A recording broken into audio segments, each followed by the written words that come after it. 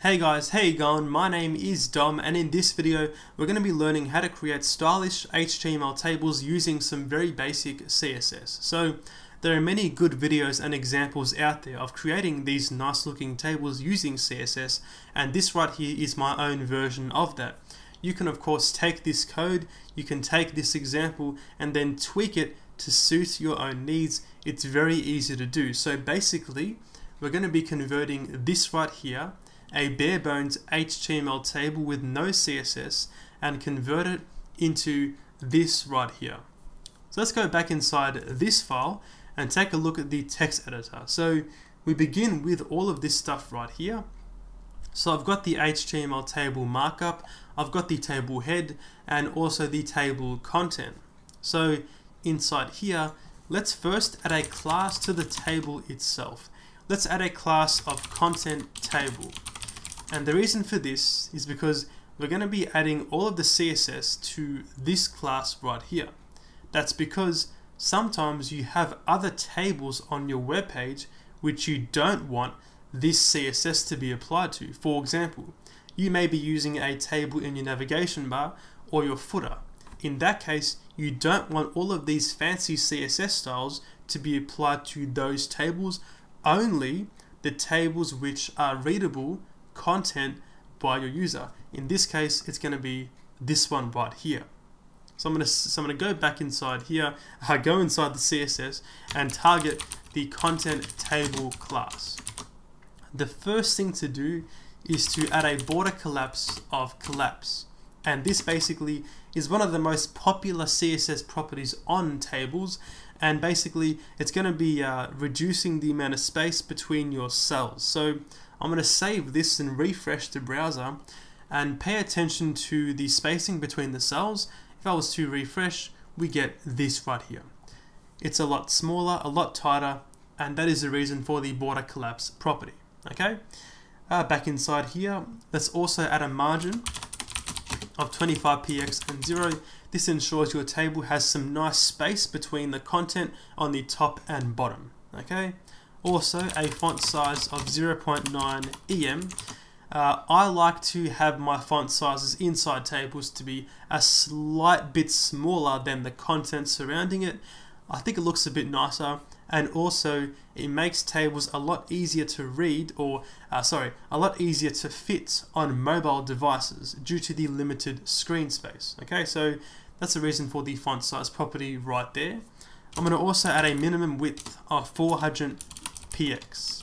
And the reason for this is to ensure the table always looks nice and big um, no matter what the content inside of it is. So of course, since it is a minimum width, it will expand if needed. Okay, so I'm going to save this and refresh.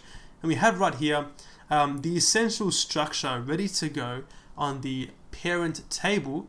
We can now begin work on the uh, table heading row.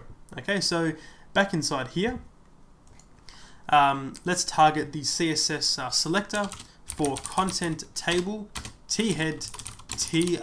So we can add a background color of a nice looking green, so 009879. You can of course change this to suit your own web page and also a color of white and a text align of left. The reason for this is because uh, most browsers, including Chrome, like to center um, the table head columns. Um, I think generally it's a good idea to make sure that your um, columns and content are aligned in the same way. So of course, if I was to refresh this now, we can see we of course have that nice background color, but also um, the table uh, uh, head columns are of course aligned properly with the table content below. So um, that's that right there. We can now add some padding between the cells. So back inside here, let's go and say, also actually one more thing, sorry. Um, you may also want to add the font weight property as being bold. This ensures on all browsers, um, of course, the, um, the heading columns are bold. Okay, so uh, back down here, let's now target the content table th and also uh, content table td. So um, the cells inside the table header and also the table content. or table body. Alright, so we're going to say padding 12px, 15px. Okay, so of course it makes everything look a lot nicer with that padding right there. So I'm going to save this and refresh and this right here can be considered a completed product. So let's add some more styles to make it look even better. Alright, so uh, back inside here, let's say content table, uh, t-body tr, targeting every single uh, table row inside the table body. We're going to add a border bottom, a border bottom of 1px solid and then a light gray. Okay, so I'm going to save this and refresh. We have this result right here, looking quite good. And back inside here, let's now target the good old classic, having uh, every second row a light grey background color. So down here, I'm going to once again uh, begin with this selector. So every single TR inside the table body except the odd one. So uh, basically nth of type even is going to target every single even row inside the table body. I'm going to say background color of being a very light grey. So we're going to say F3, F3, F3.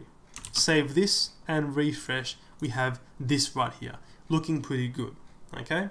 Um, also, uh, typically you may see um, the border bottom of a table to be thicker and also the same color as the heading. So let's go ahead and go back inside here and target the last table row.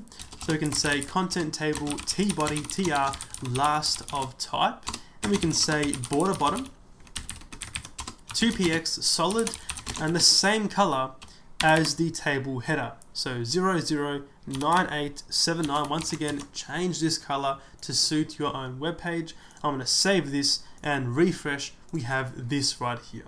So this I think is a completed styled table. Now inside here I've got some of uh, uh, you know I've got a few extras going on right so um, the first thing is the box shadow we have a bit of uh, border radius we also have an active row so let's go back inside here and add some of these optional properties to the table so uh, back inside here let's go up to the content table class and add um, a border radius of uh, of 5px, 5px 0, 0.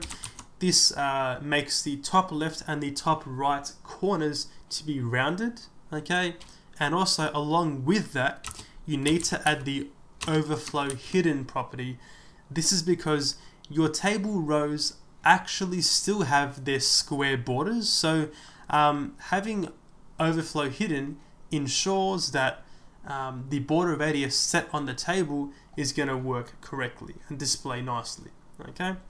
Um, also, a box shadow of 0, 0, 20px and a 15% uh, opaque black. So I'm going to save this and refresh and we have this right here. Looking pretty good, honestly.